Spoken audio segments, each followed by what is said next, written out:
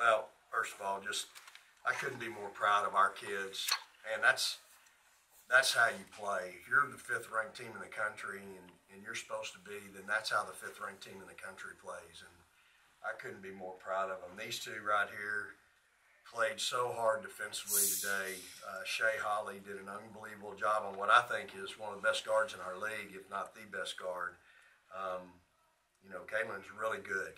Like she's a monster and to go out there and defend her like we did and like Shay did. And Shay will tell you, we had, you know, we had a really good focus as a team and, and tried to do some things to, to really limit, but she had the primary focus of her. And, uh, man, y'all don't know much about our team or my team, but this team is so special. They've, they've had to endure so much. Um, you know, from losing Rori to Taylor being out to Gaston being out twice. Gaston's finally getting healthy. She's back today, six for six, and just played really, really good. Um, but it's in my mind, it's a God thing, y'all. Like this team is just an unbelievable. They're a godsend to me, and um, uh, we'll give God the glory for number 26, 26 and three, and um, just uh, you know get ready for obviously a, a, a, real big one on, on Wednesday night uh, on the road. But this group is special. And for y'all, I know y'all haven't seen them, but they've done it, you know, in some uh, uh all year when people probably didn't give them a chance. And, you know, it's, it's one of those things where um, you can go one of two ways. And, and uh, you can either buy into all the oh my god and y'all can't do it and just hang in there and all that or it can become your finest hour. Like this is our finest hour in my mind. What these kids are doing like they chose to be great. We always talk about elite as a choice. They chose to be elite. They chose not to listen. They chose not to um, not to give in. Um, and to be where they are today, uh, it doesn't happen unless you really, really honor the game because the game will get you if you don't. And we talk about it all the time. The game honors toughness. I'm going to tell you, this group is a tough, tough group. They're led by a freshman who, in my mind, is the best in the country, but she's absolutely not only a freshman All American, she's an All American in general. Um, she's had to, again, y'all don't know, but she's had to move over from a wing to running our point. Our kids have embraced her at that position, and she's just been so special for us. Her, her family, her daddy was able to be here today with a cousin, and uh, so it's just been a, you know, to see them play like they were so connected. I thought the first half, man, they were their defense. We had like four shot clock violations defensively. We took them deep into the shot clock on some other possessions, so Guys, y'all don't know. Y'all know we don't. You don't do that standing around in a two-three zone playing hope you miss defense. And uh, these kids just continue to play and, and, and do it the right way. And in my mind, the game's honoring them. You know, and uh, the good Lord's blessing us. Coach, you mentioned this is number 26. Uh, your 10th season with 26 wins too, by the way. But uh, obviously, the big uh, point. Yeah, you mentioned, you mentioned uh, the uh, the importance of the defense in this game. Obviously, the second quarter jumps out, holding UCF to four points. Yeah. What was it you saw in particular in that quarter that um, your players took advantage of to, to get that? I think it was 23 to 4 with the yeah. gap. So. I, I thought we were connected. You know, I just thought we had really good focus. Shaylee was super active today defensively. Um, but I, I, just thought we were real connected. We had a real understanding of the game plan of what to do. We had talked about our concerns about what you know they do well, and we had to take that away. And um, I just thought when you when we watched them that second quarter, especially, man, they were just so connected. The chemistry was really good. We had people in the right place on the floor. It was just they were really good, and um, and so um, when you play like that versus the way we did the third quarter and came out, we were a little little slow, a little sluggish, and uh, but you know when you play like we did that second quarter, man, it's special. That's fun for me. I mean, that's you know I, I like I like seeing kids play their guts out and play hard, and especially guard. And um, again, I thought it started with these two I thought they were super today, super active, in the right place. Um, our ball screen defense was really good that quarter. Third quarter, not so good. We had a hard time getting our, our bigs out to hedge in the third quarter, but, um, you know, other than that, I, I thought we were really, really connected today. Really intentional. We talk about being intentional. Every possession, we were really intentional. I thought offensively we executed. Only had 11 turnovers. We shot. I'm have to use my glasses. We shot 64%. Like, that's execution, y'all. And we took good shots. I mean, we didn't even get a shoot around here. Like, they're never going to want to have a shoot around on game day ever again. I mean, we didn't get a shoot around here at all. Early game, we talk about, man, that early game, that's a sleepy game. The sleepy team loses. And we weren't sleepy. They got up this morning. They had a good breakfast. We had a good walkthrough. Our managers, y'all, taped down the floor in the ballroom of a court. I mean, and I'm t- from the Big 12 insignia in the lane to UCF on the baseline, everything. It was top notch. And, but again, elite is a choice. That's our whole program from managers to players. But our players, when you walk in and see that at breakfast, you go, okay, that's pretty important. You know, that they would take the time, because I was in there watching film last night while they were over there moving tables and putting the tape down. I even got up they made the lane out and it was too narrow. I said, hey guys, that lane's too narrow. They said, well, coach, how long is that? I go, I got it and walked it off for him. Then I told Mason, I said, Mason, go on Google and find out how long the length of the deal is.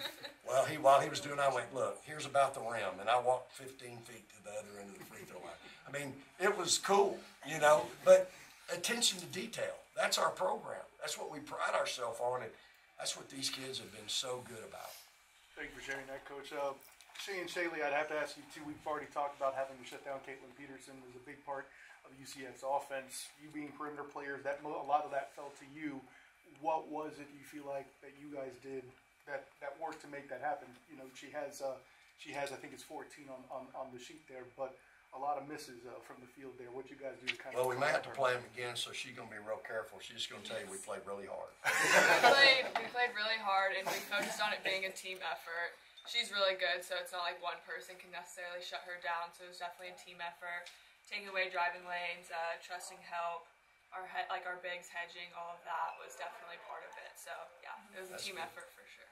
Yeah, and we also wanted to focus on charges too. I think we got seven as a team, so Most we've had all year. I've been really challenging this group because we're not, that's not our, been our forte, which typically is of my teams. But I thought today, you know, we had five at halftime. I think we got seven for the game, including my big five player took one. I don't know if she accidentally ran into it.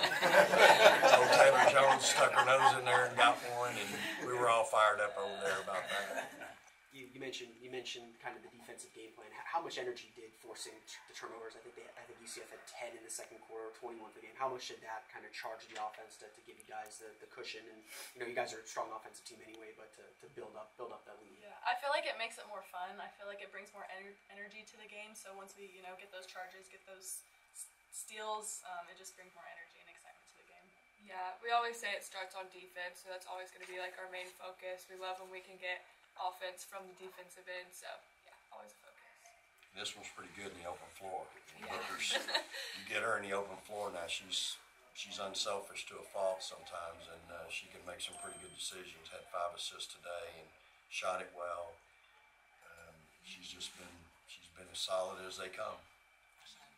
Well, and then as I was going to ask you, there were some places like you're a long team in general, but you and the forwards had to battle UCF's bigs. What was unique um, battling that group, and what do you think worked for you guys tonight doing that, or today doing that? I mean, they're a very like a physical group. Um, really just battling down uh, like in the paint.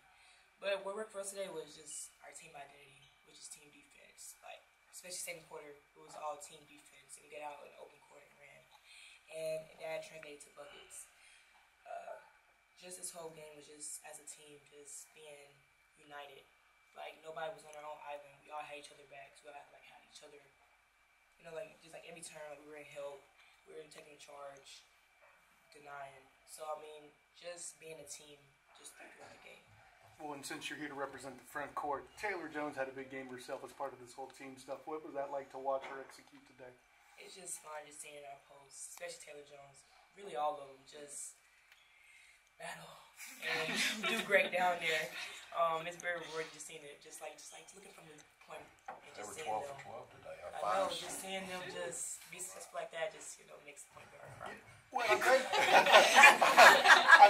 glad you mentioned the concentration on the charging because when Taylor took the charge, I've never seen a bench erupt quite like like that. I mean, was that? I mean, it's obviously a focal We, we think but- it's her like only charge like in her career. So it was pretty cute. Yeah. Yeah, We've been challenging her to do that, so it was nice to see.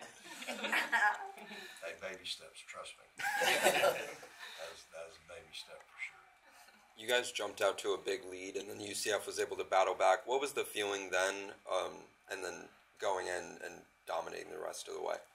Well, I mean, I, I really expected a knockdown drag out today. Um, I think we didn't have the knockdown drag out as much just because of these kids. Like they just, they were phenomenal. Like these kids played so well today on the road.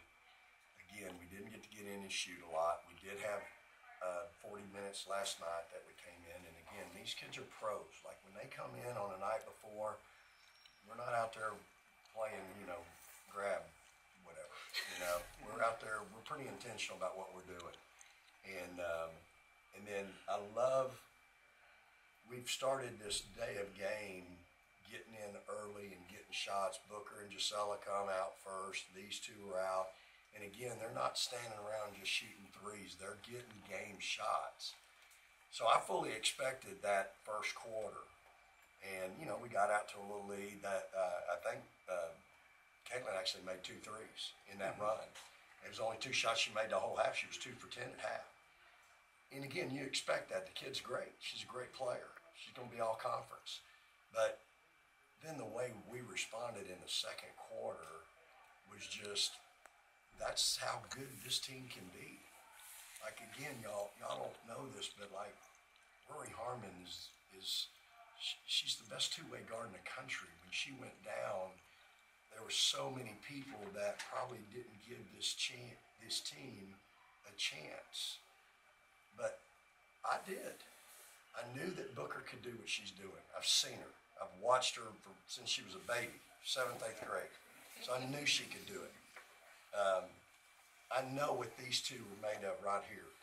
You know, you don't ever want to es- underestimate what's inside somebody's breastplate. You don't do it. And these kids just, they just are tough, man. They're competitors. They're going to be so good in life, um, but they're winners. And they've embraced the position we've been put in, and they've made the best of it. And I can tell you, it's just like I said, it's a God thing in my mind, but it's also I give them all the credit because I've watched them every day. I've watched how they've gone to work. I've watched how they've wanted to get better. Booker's gone from that first game where we had to get her out against Baylor in the first five minutes because she wasn't quite comfortable to now I don't ever take her out unless she's in foul trouble, which she was today for the second time. I'm having a talk with her.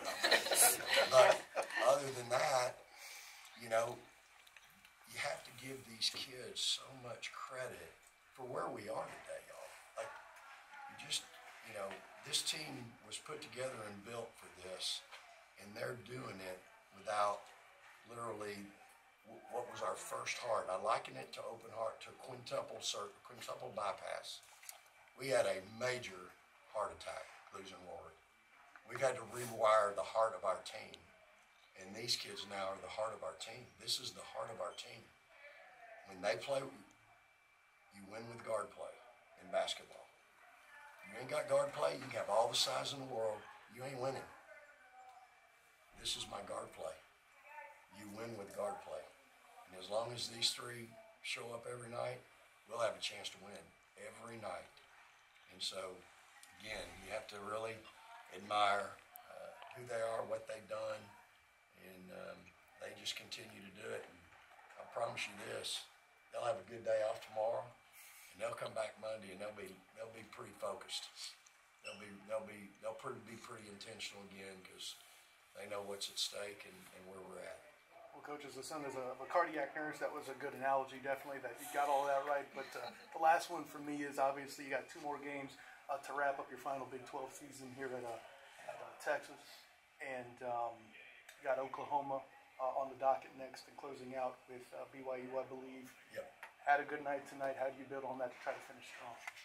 You know, I, I think again, it's confidence, you know, with the team and especially this time of year, these, these kids ought to be really confident. Like we've been through some, some battles and some wars, but, um, at the same time, that, I don't think I'm gonna have to motivate. Somebody asked me something about, maybe it was in a pregame about them maybe being, having some, being lackadaisical or apathy. I don't know what it was, but it, like, I, I, I, these kids are focused and motivated. Like they know what's down the road. They know what's at stake. They playing. They're playing for a lot, y'all. They've got we've got conference championships in front of us. You got seedings. You got a lot on the line, and so I don't think I'm gonna have to get their attention. No matter what happens in the next few weeks, these kids know what's in front of them, and uh, and that's where you want to be as a coach. You want kids that are motivated, that are mature. Um, and that are driven. And I think all of our, our team right now is, is that and then some. Again, in my mind, when I walk off that floor tonight, we beat, like, I don't know how they've only won three games in the league. I think that's right. They've won three. Like, they're really good. A lot of last second buzzer Yeah, beaters. Yeah. like Sytia's doing a great job with them. Like Carrie's a hell of a coach. She's got over there with her on the side. Like they're going to be fine. We beat a really good team today in my mind, and we we beat them the way we did just because these kids really were good today. They were really focused, and if they play like that, and I will remind them of this, if they play like that every night, we'll be playing for a while. Thanks, everyone. All right, praise the Lord, Hook 'em Horns. Thank y'all. Thank you. Thank you, ladies. Thank you, coach. Thank you.